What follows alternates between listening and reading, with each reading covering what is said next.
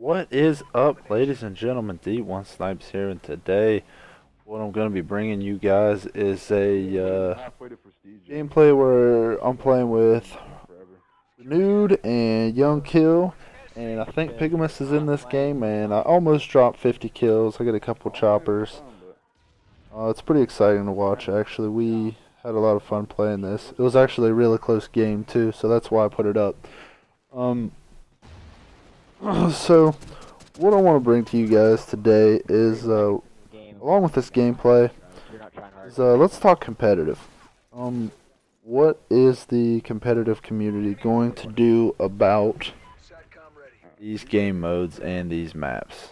Um, I've seen a ton of pros coming up with their own rule sets to scrimmage on. So I I see Rambo and I see Killa going back and forth about uh, what's good, what's not good for game modes, maps. Um, Parasite's list I think was pretty legit. If you see his, uh, if you follow him on Twitter, he came up with a, uh, list of domination, uh, search and destroy, search and rescue, and uh, blitz maps that could be legitimately used for uh, competitive play on LAN. And for the most part, I agreed with his list. Um, I mean, it's not. There are no good maps and there are no good playlists uh, for this game, in my opinion. Um, I love this game for pubs. It's so much fun to get a team of six and just go off on people. I mean, it's it's almost too easy if you got a team that knows what they're doing have a little bit of gun skill. But uh, back to competitive. Um, what do you guys think? Search isn't even a game type in the game, so if you want to practice that at all, learn the bomb sites or anything like that, you can't do it. I mean, you just can't. You have to go in by yourself and run it for timing as far as that goes. I mean, it's it's hard to see what you need. So I really hate that. The fact they took out league play is just it baffles me that you wouldn't add that. I mean, even if it was some horrible ass version of it that you couldn't even play at first, just have it in an update. I mean, that's what made Black Ops 2 league play. People wanted to get in a competitive game battles grew like crazy. I mean, it was just so many things made Black Ops great, even though people hated it. For competitive play, the maps being so symmetrical, the weapons, I mean, everything, there became a standard. I mean, that standard is what made competitive play great. Now, when you start trying to do all this other crazy ass shit, I mean, you do have to take a bold move. You have to, uh, like Black Ops did, you have to take a bold move to do hardpoint. When they said that that was going to be a competitive game type, uh, people weren't so sure about it. But look at how that ended up. I mean, that ended up being one of the most exciting game types to watch.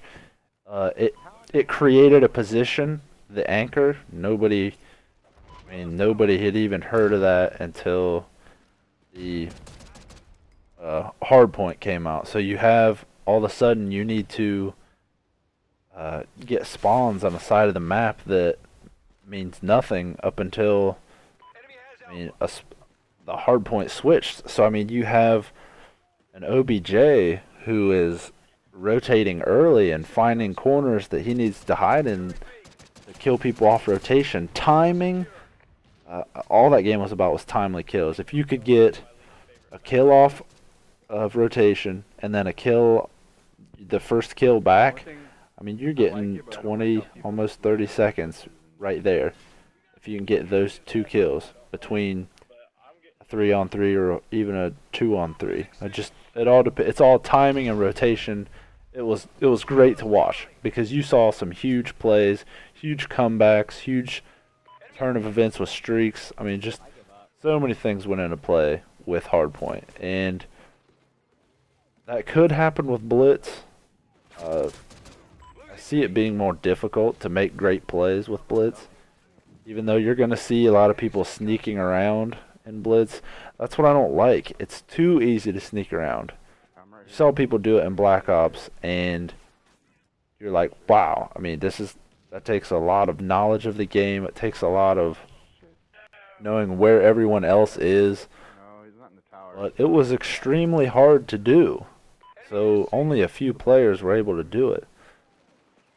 So this is going to be way easier to sneak in. Especially if you only have 4v4 on a couple maps with Blitz. People are just going to flank all the way around. Probably not even They'll use a silencer if they need a kill.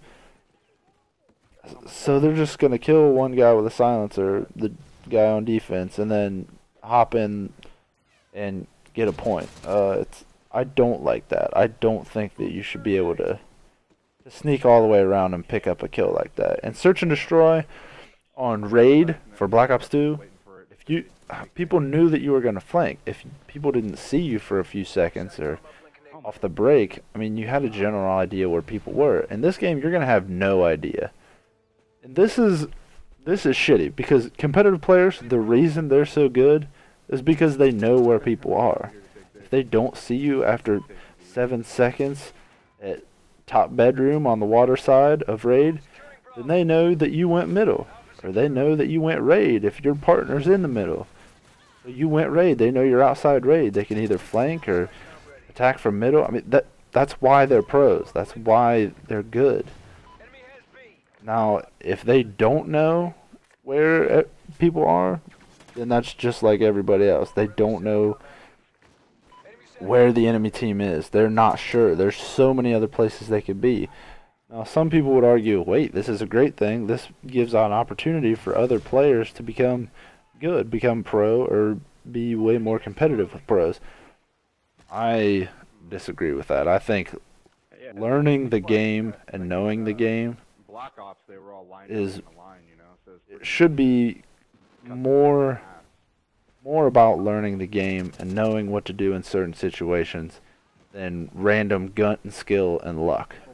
That's what I think it should be. If you're that dedicated to learn the game, learn the spawns, learn what to do, win, then that's that's how you get good. That's how you get where those guys are, not by sneaking around with a silencer all the way around the map, killing one guy in the back, and then jumping in for a point. I don't think that's how matches should be won. Um, but you guys let me know what you think about that, honestly, because I would really, really like to hear different opinions on this from other uh, competitive players. Um, I'm trying to get into the scene, so it's not. I've learned a ton in the last year about competitive Call of Duty, and it's it's about knowing the game. It's not about uh, blind luck. It's you really need to work at it and learn the game. That's that's why those guys are are where they are, and um, not having four on four playlist like league play. I mean, there's the team tactical, but I don't think that's anything in comparison to uh, what league play was. And hopefully, if they do get a playlist like this, they keep it updated. They don't just leave it in the dark. League play was updated all the time with playlists and rule sets and all kinds of stuff. Um, for people that play league play early, they know what I'm talking about. But people that played it in the last few months, it was pretty, it was pretty standard. Everything that you played and all the maps, rule sets, weapons. Um, what do you guys think about the submachine gun ARs?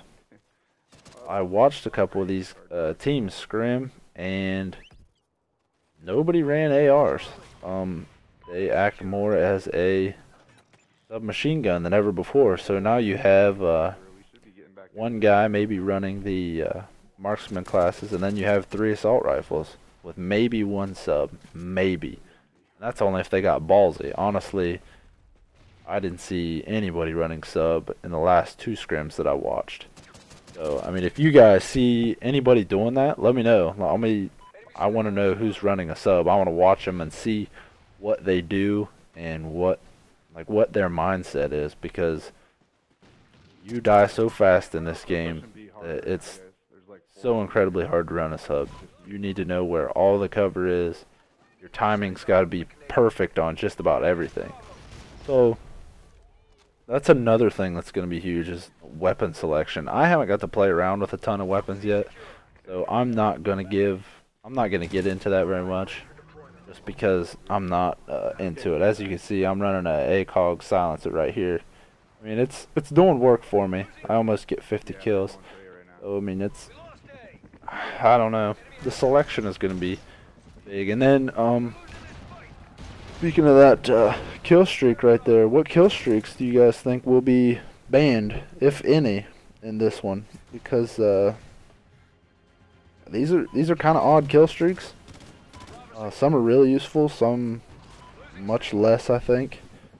But I don't know how it'll work in a 4v4. I don't know how that would do in a domination, a search and rescue, that kind of stuff. I mean, it's it's really hard to tell. I'm really excited to see how this fleshes out because at first I was really, uh, really scared to where this game was going to go.